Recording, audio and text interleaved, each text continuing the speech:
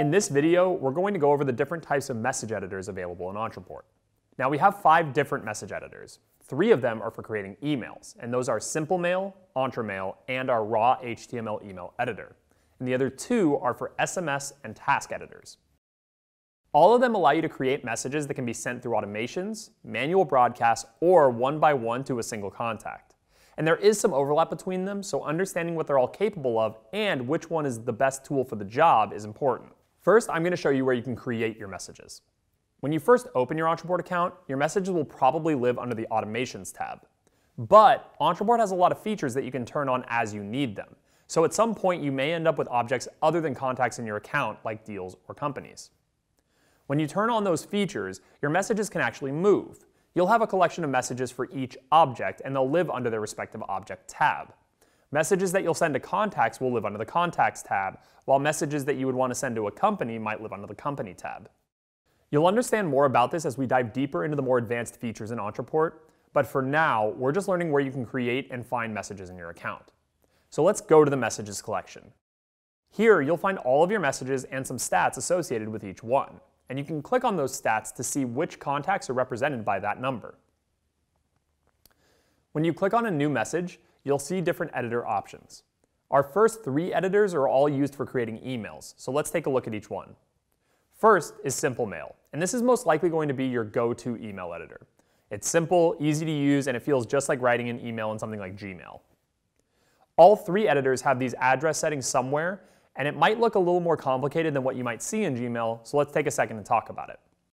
At the top, you have your send from name, and whatever you put here is going to be what shows up as the sender in your recipient's inboxes. When your recipients reply to those emails that you're sending, those replies will go to whoever you chose for this field. If you want to change where these replies go, you can go to their user profile here. Or you can select custom from the send from name field and simply type what you want for both the name and the reply to address. Getting this right is important because if you're sending a lot of automated email, you're going to get a lot of bounce backs, things like out of office replies or other canned responses, and you really don't want that kind of stuff filling up your inbox. Next, you're going to see the send from email. Normally the default here is going to be just fine, but if you have set up more than one business domain in your account, you can choose between them here. Under this, we have the send email to. As you know by now, Ontraport's pretty fancy and it can allow you to send messages to not only the main email address for each contact, but you also have the option to message any secondary addresses you may have stored for them, or even to other contacts or records related to them. For example, if your business operates something like a children's summer camp, you may want to select a group of kids who are signed up for the camp, but you wouldn't want to send an email to them, you'd actually want to send an email to their parents. This setting allows you to decide exactly who your email gets sent to. If you're simply sending an email directly to contacts you've selected, you won't need to worry about this setting at all. It'll always default to the primary email address for each contact. Now let's navigate to the email subject line. And finally, things are back to more familiar territory here. This is your email subject, just like any old email editor. Same with your body copy. This is where you write your email and there's nothing revolutionary about it. Down at the bottom, there are some controls for managing things like fonts, font sizes, and stuff like that. And while we're here, there are a couple more important bits to cover that you'll find in every email editor, like this transactional mail checkbox.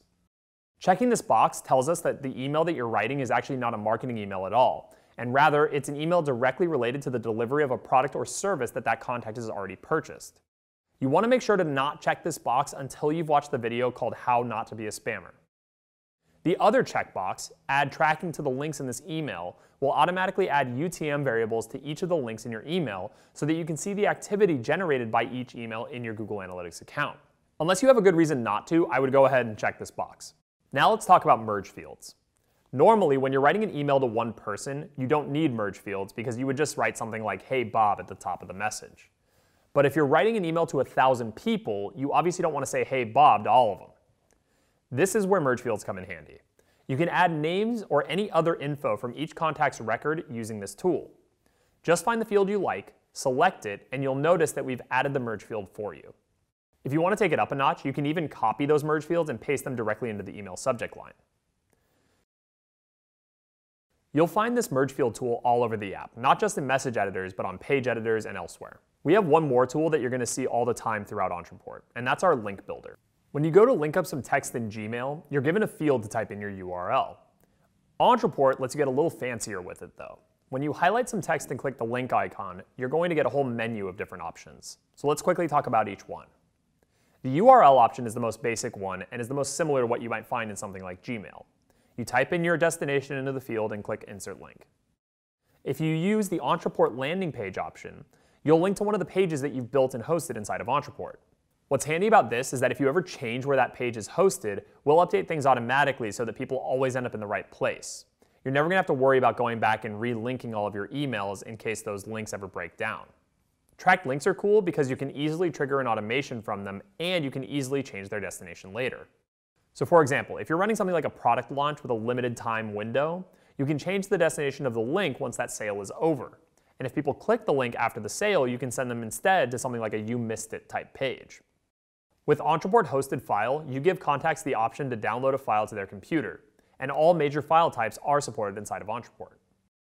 All the stuff we just covered is going to be the same in every Ontraport email editor, but there is one more thing that you'll find in this email editor in particular, so let's take a quick peek. You've got this Can Messages tool, and this is normally used to create snippets of emails like headers or signatures that you may want to use over and over again. You can create one by typing in your text and adding it to an email. Pretty slick.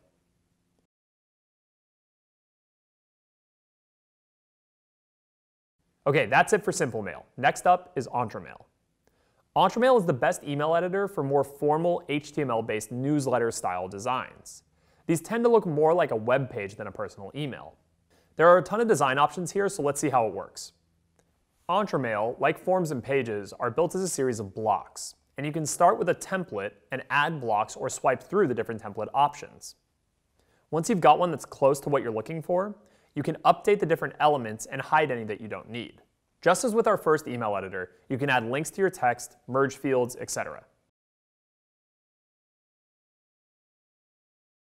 And you can also change your email settings in the Settings tab. The third email editor is the raw HTML email editor. And this one is for coders who want 100% control over every detail of their emails.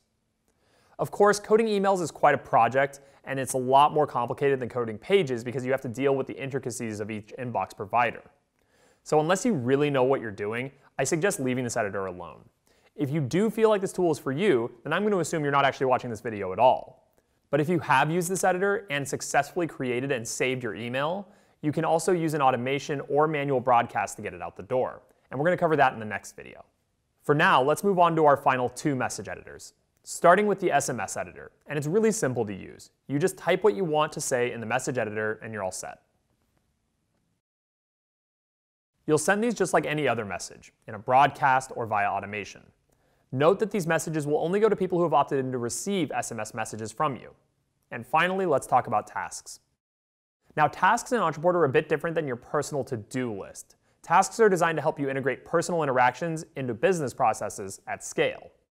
Instead of having to remember to call each lead the day after they fill out a form, or worrying that a team member might forget to do it, you can add a task to your follow-up automation and assign it to the right team member at just the right time.